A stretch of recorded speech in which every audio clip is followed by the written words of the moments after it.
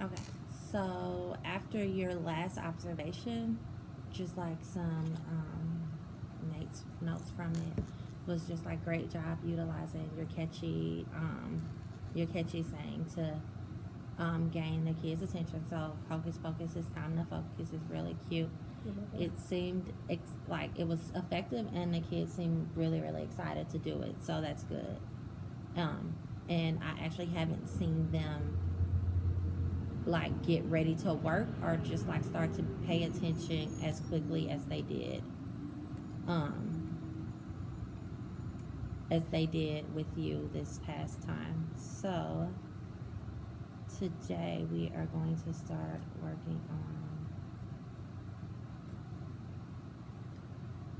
um we're going to work on preparation with you and so some of what um, so um, I want you to watch a lesson I'm going to show you and as you watch the lesson I want you to think about how the teacher begins the lesson how she's setting up the scholar for success and and what's the impact of her teaching okay Okay. so the first video is and we're, so we're just gonna watch the intro, the beginning of the lesson, okay? Um, and why you do,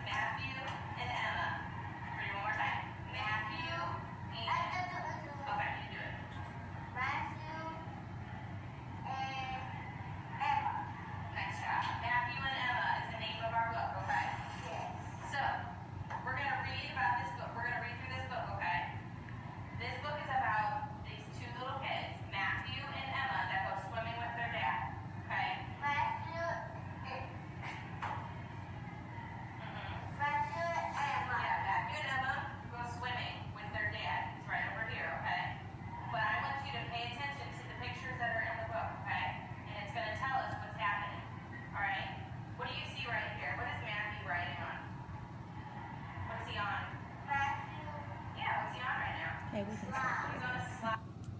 Oh, Mario. Yeah, that's Mr. Kip. So, um, as you watch the video, how does Miss Keener begin the lesson? Um, going over some tricky words that Mario might uh, not know and have difficulty sounding out. Um, and how, um, how is she setting him up for success? Just by telling him, like, you know, these words, we can sound them out together, and working with him and making sure that he has all the proper setup to read the book. Okay, and when you think about when also when you watch the um, video, what else does she does after she introduces the words that Mario might struggle with? What does she also introduce? The title of the book and then what the book's about. Right, so she does a, a book introduction. Yeah. Um, and then she also ends her book introduction with what? Um,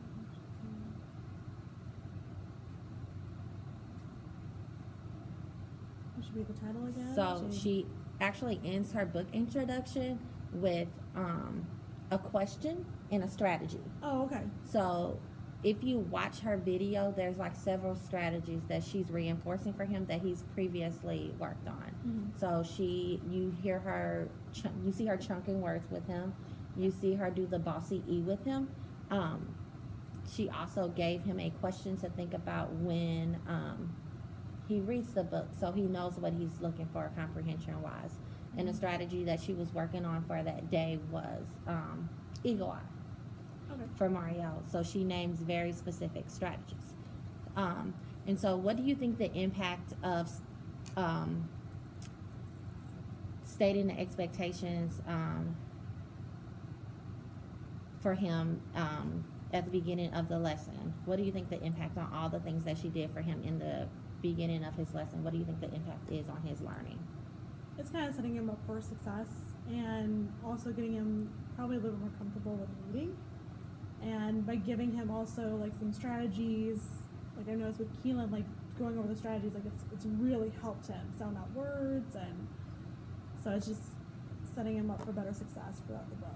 So I'm gonna let you watch a video of your guided reading lesson with like I just came in on a random day of what guided re- reading for you looks like.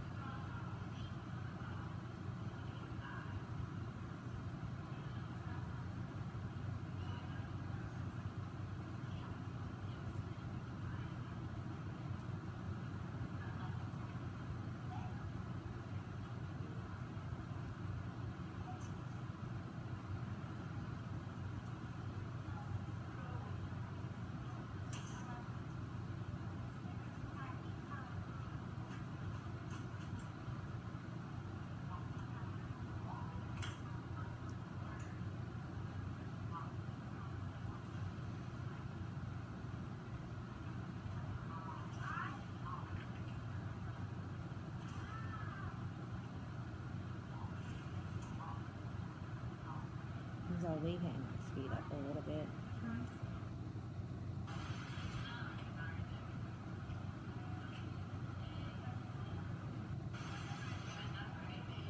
And so, like, I started the video right after you guys rotated. So this is just like three minutes into guided reading for those 2 Mm-hmm.